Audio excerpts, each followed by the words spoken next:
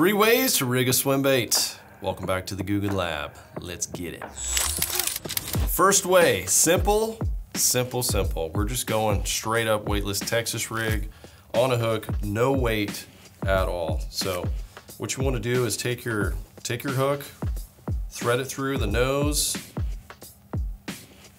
come out right before the ribs. This is a 4.8 inch saucy swimmer I'm using right here. Very important to get that hook straight up through the top of there. You don't want it to be kinked.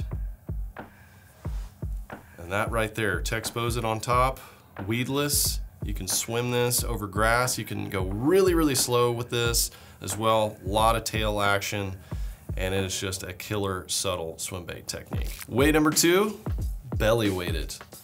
So there's a variety of hooks out there that have a belly weight on the bottom. Many of them have a screw lock in front. So how you wanna rig this, take that corkscrew, put it right on the nose, spin the bait, it'll just connect right on. You just wanna realign your bait, same way, get that hook point straight up through the top, Texposed, and now you've got a belly weight on there so you can fish this a little deeper and it'll also have a, a fall to it as well if you want to stop it. So it just gives a little bit different action than the weightless. The third way is on a jig head. So you can fish this in 30, 40 feet of water. You can fish this in shallow water.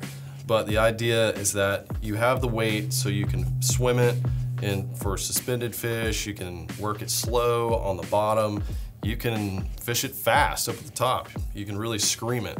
So you can fish this at all different depths and your hook is exposed. So if a fish just comes up, subtly grabs it, you're gonna connect into them.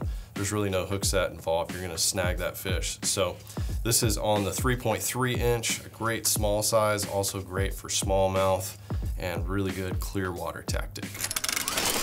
So that's three easy ways you can rig up swim baits. If you want more tips and tricks, subscribe right here to the Googan Lab.